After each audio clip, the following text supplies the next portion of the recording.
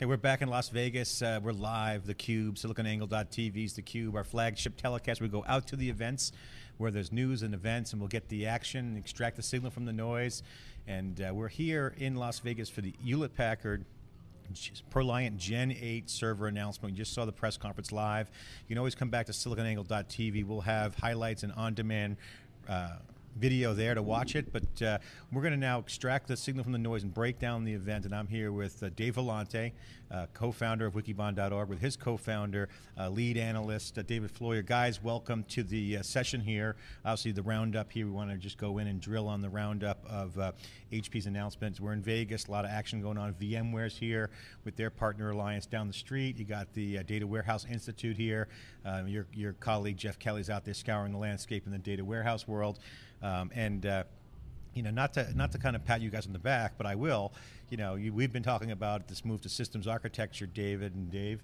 Uh, IO-centric in, in infrastructure. David Floyer recently put out that's been a very big hit. Jeff Kelly put out the Big Data Manifesto, and uh, SiliconANGLE also covers cloud, mobile, social, and big data. So, you know, we love this. I mean, this is like for us uh, red meat. So let's break down the announcement uh, from HP. They announced the Gen 8 storage. So, so Dave and David, let's break that down. Dave, what's your quick reaction to the highlights here?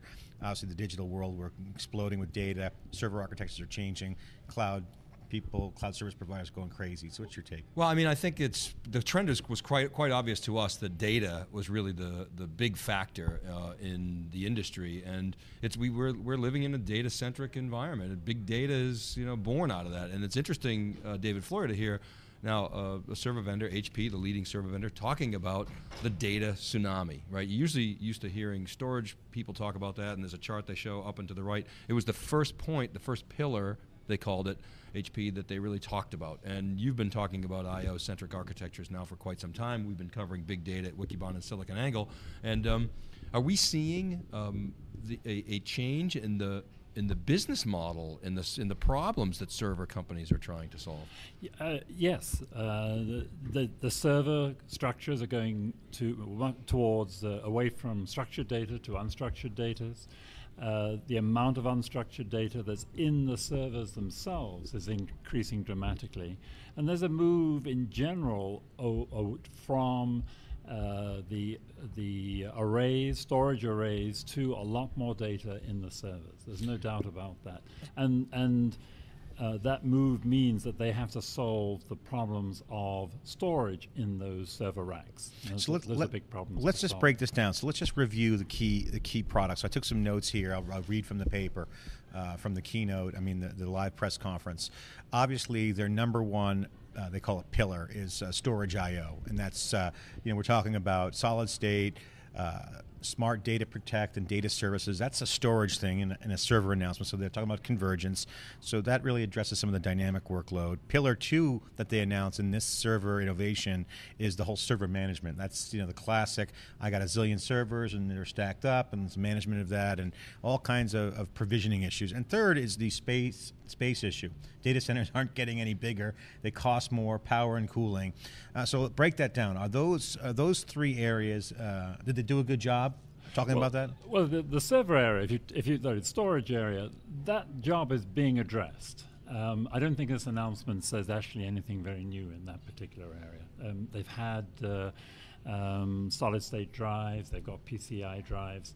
Um, yes, it, it, highlights that they've done some work in terms of automating and, and getting information about that. But the actual products themselves, that, that, that's not new. Really, that's an interesting nuance that you're bringing up because essentially the messaging would say otherwise. I mean, right. getting data yeah. in and out. The messaging says we're getting data in, in and out faster. I inferred that they're actually re-architecting architecting systems to do that. In your opinion, that's not the case? There, there's a little bit of architecture. They've got some nice solutions for data protection within the servers. That that's nice, but in general, they've got a hold. The, the industry has got a hold of that, and, and so have HP.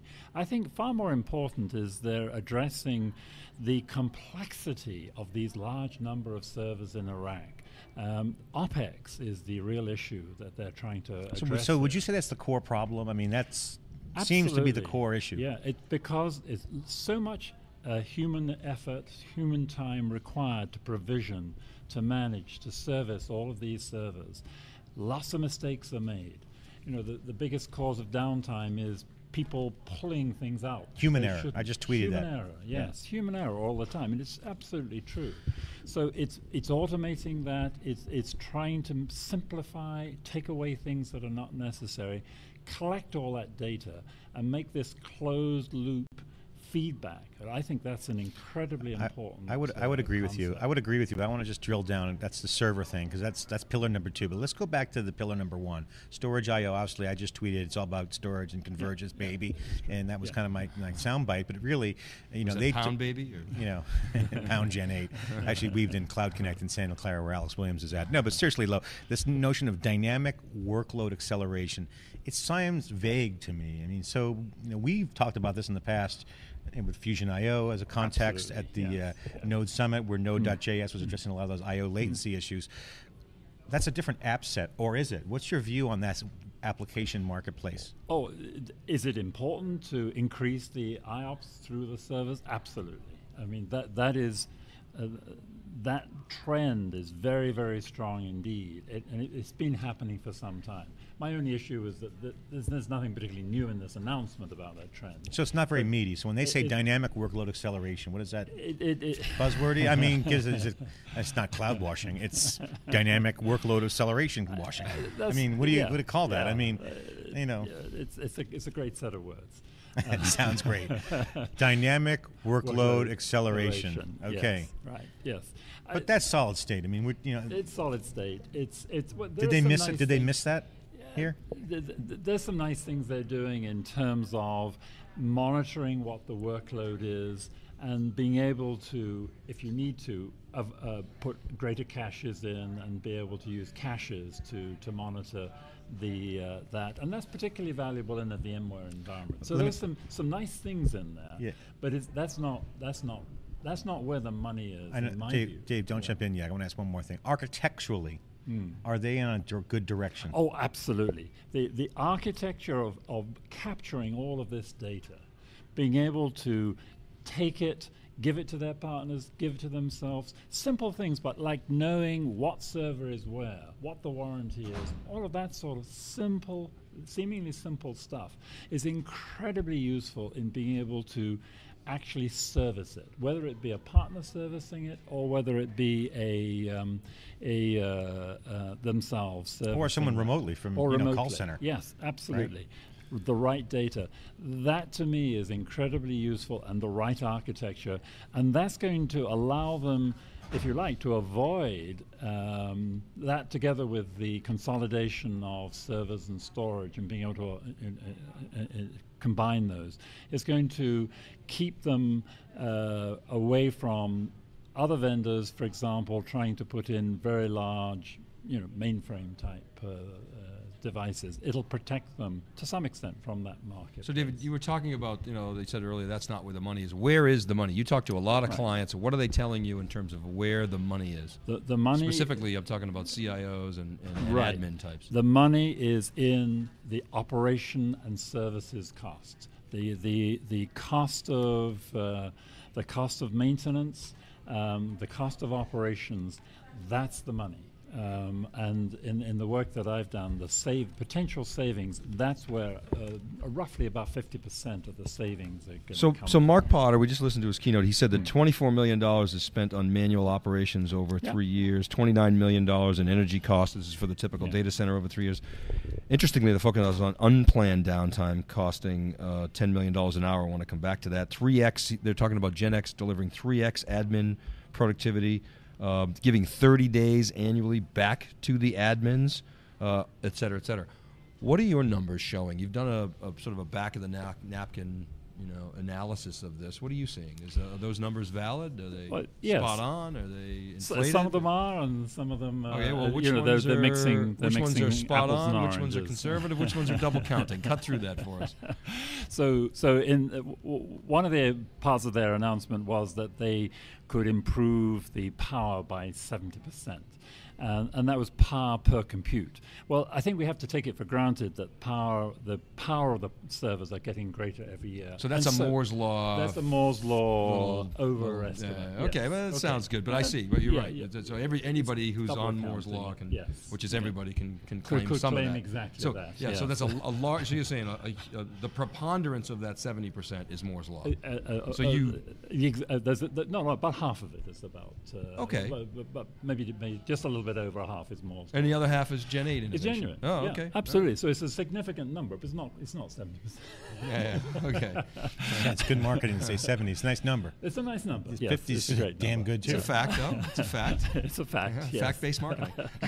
it is a fact. It's true, but uh, it, it, that's not what a uh, customer is going to see. One of their customers is going to see, but. I, I mean, think customers. I mean, customers want reliability. The channel partners and their sales force want you want to maximize the service revenue and Absolutely. at the co- lowest Yes. cost point, which is automation. Absolutely. Okay, so Yeah. so so, so So- that helps us squint through that piece. What else? Right. So, so uh, the, the, the three areas where they're going to save money are on facilities, and of course, uh, was it well over 50% of IT shops don't pay for facilities, so that's a little bit difficult sometimes for them to get to focus on.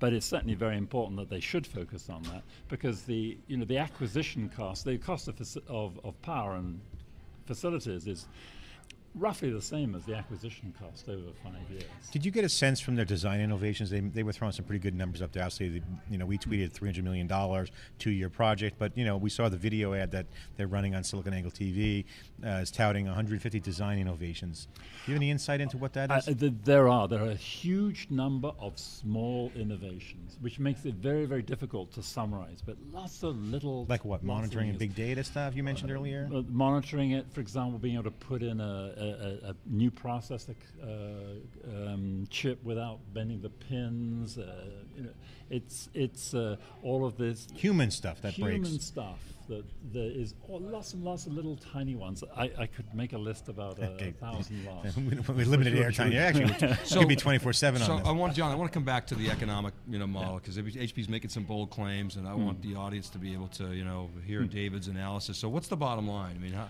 how much is this actually going to save a, a customer in terms Well, of, you know, server costs? We, we, we have a standard model, and uh, it's a, a billion dollar company, 4,000 users, roughly spending 3% of their revenue on, on IT.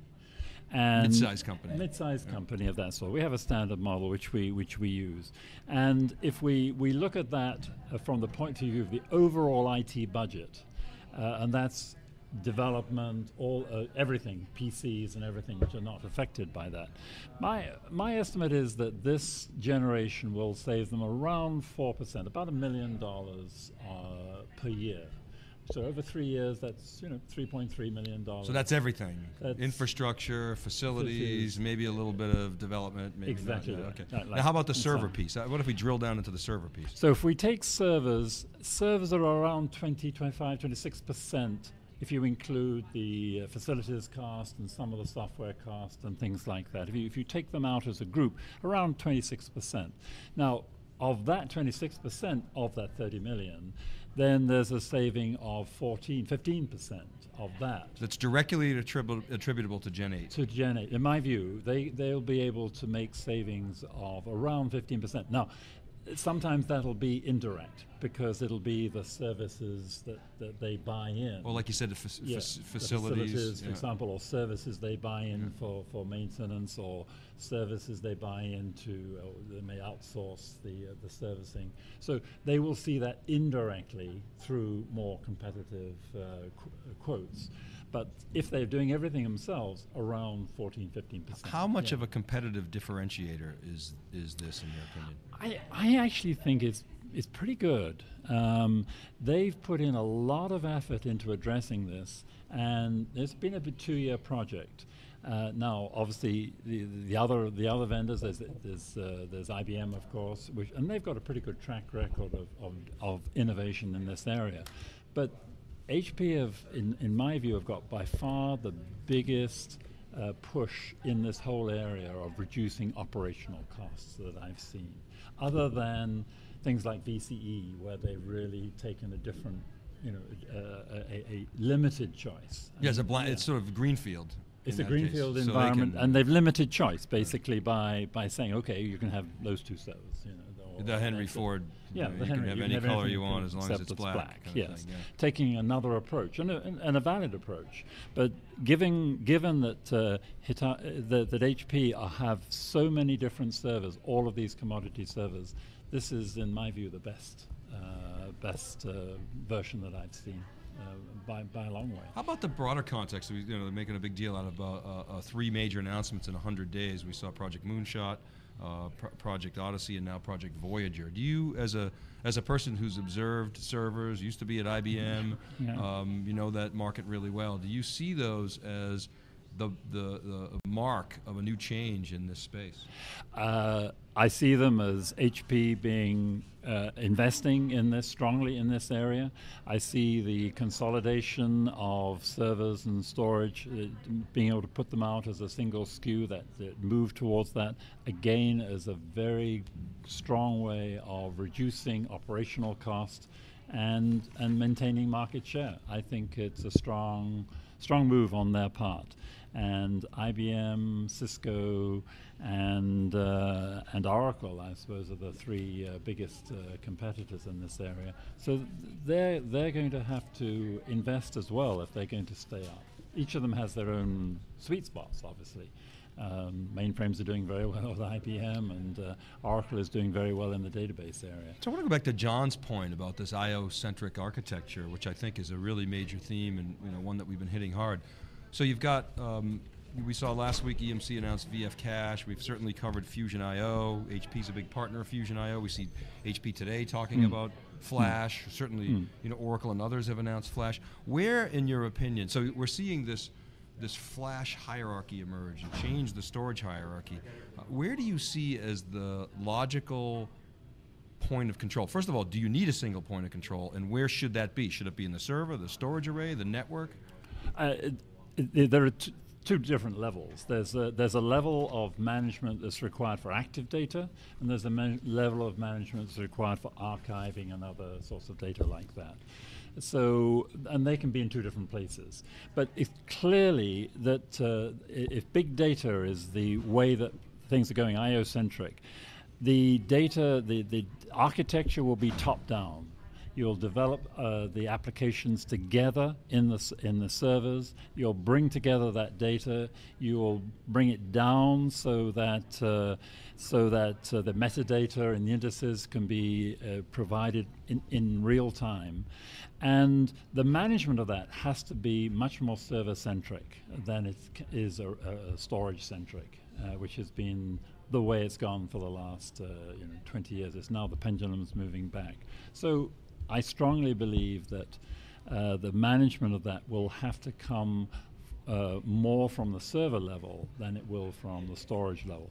Uh, for the archiving uh, data and the uh, backup data, I think that can be uh, much more of a, of a, of a storage-led environment.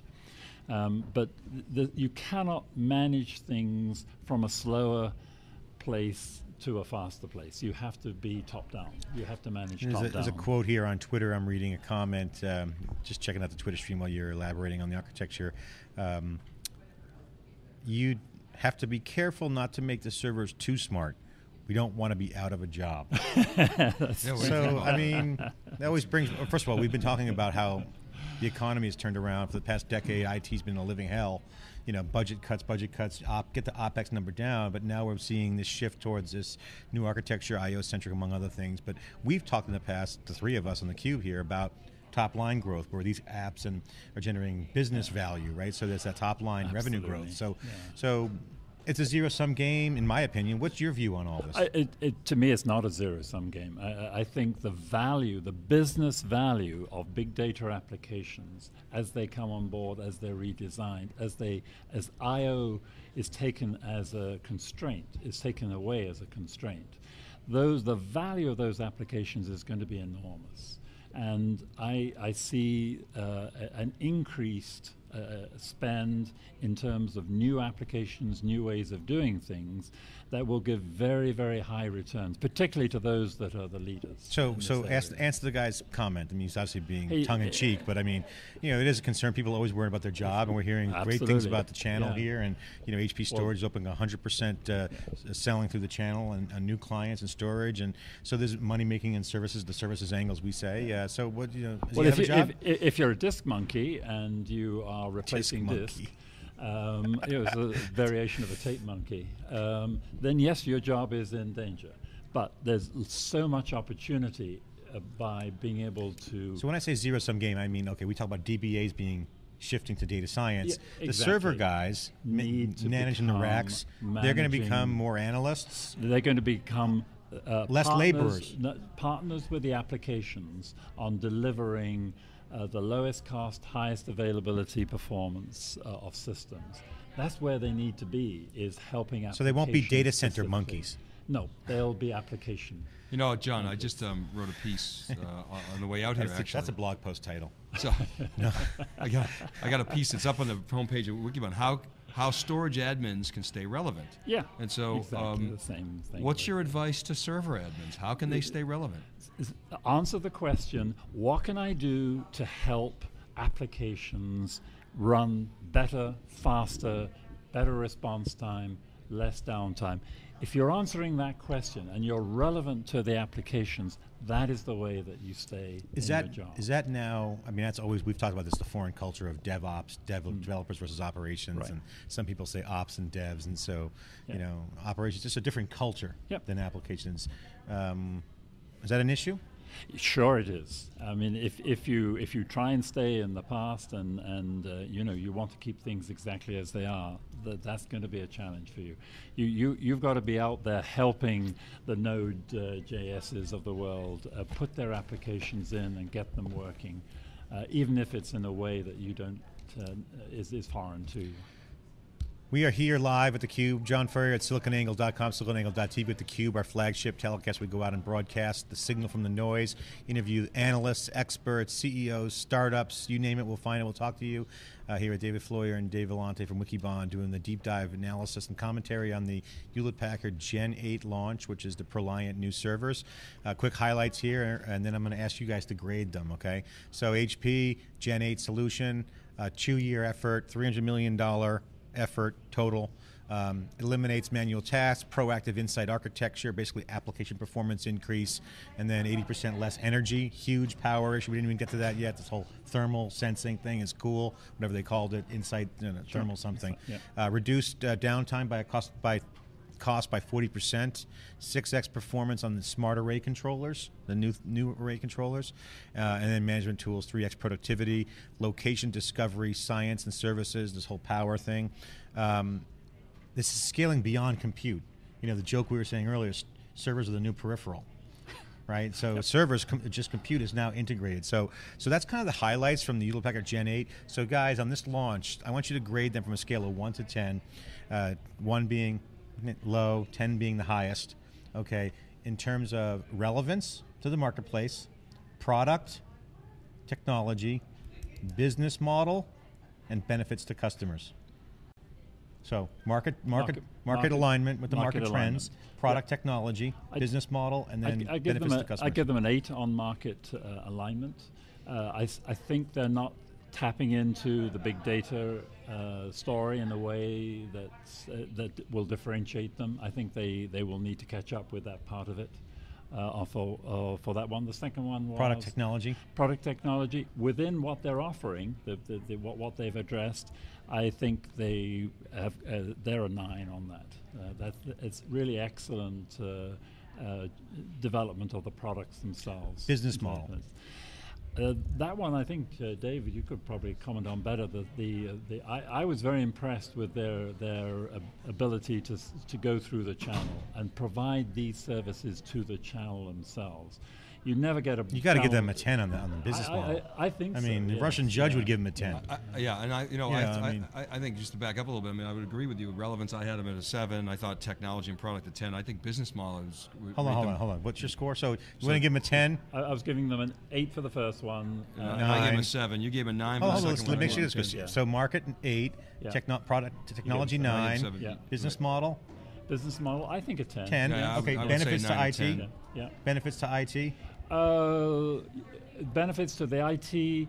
Remembering there are a lot of other problems in IT as well, uh, in the development and other things like that. So, in terms of overall Is this, relevance, a, is this an aspirin or a game changer?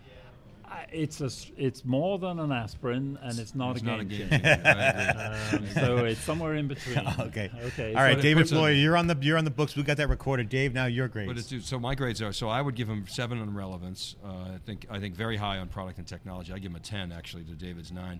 I think business model also very high, a nine or a ten. I think the whole channel thrust is really impressive. HP's getting serious about the channel. There's a big land grab going on with the channel, and then I think benefits to IT. I would agree. I mean, it's not. A, total revolution here. No. I mean, Yeah. you know, It's- s- it's- it's, really it's great for the server admin. Yeah. I mean, it's Absolutely. really great Yeah. news for Yeah. the server admin now you know, where's the server admin in the grand scheme of things? It's to me, it's you got to touch application development. You Yeah. know, Yeah. and You've got it. you got to align with the business, and, and I think this helps. You know, it's It great. helps. It's Yeah. good stuff. And you know, the other thing is is com- competition. I think that you know, it's it's from HP. HP continues to lead in servers. They, they clearly are are number one, particularly in this ISS space. You know, Yeah. the industry standard server Commodities. space. okay, so let's run no down your scores. So give me the numbers again. 10, 9? So relevance. You No. were you were. Oh, your score. I was got his an scores eight. already. I was an eight. No, Yeah. what's your scores? I was seven. 7. Yeah. Product uh, technology. Product technology. I was a ten. I was, Business I model. was a nine. Business model. I was a nine and a half. I was a Um, 10. and then benefits. Benefits to IT, I think, are uh, This is four yeah. or five. I was going to Yeah. give us five or six. You know, I mean, overall IT. To server admin, you know, higher. Okay, so here's so my scores are on the market relevance. I would have given him a five or six, mainly because of what you were saying about the big data story. That's they didn't really knock that out of the park, and I think the the SSD story didn't come out true. So, but I'm going to bump them up to an, an eight and a half, mainly because I love the power and energy story. Yep. That thing is just that is so relevant, and that is a game changer. So I give them a, an eight and a half on on relevance. Product, I give them a ten. Business model, I give them a seven and a half because the channel, although great, you know, you have the EDS and you have direct sales force. Not sure how it's going to pan out. Only I'll give them a seven and a half, only because I don't know that yet. Benefits to the customers, I give them a nine, mainly because I think the energy piece and the this idea of automating some of the stuff on the configuration really will make a big difference. You know, how about marketing? How I think, they did? marketing wise, I, and I think again the story. Back to the stories. I think they could have really amped up more of the relevance around big data. They did talk about data in their announcement. It was a key theme in there. And I think if you look at the success of Splunk, for example, They, they, they didn't address the application issue. They didn't go after Yeah. the application and say how we're going to help. Okay, so that's the roundup drill down from the HP Gen 8 launch. Uh, John Furrier with uh, our research team from Wikibon, Dave Vellante and David Floyer. Uh, we're going to be right back to hear from the, the leader of HP's uh, enterprise storage servers and networking, David Donatelli, uh, in, in a few minutes. So watch this great ad by HP. Thanks for support for HP, allowing us to do our amazing editorial cube. We love doing this here. So watch this from HP, and we'll be right back with David Donatelli.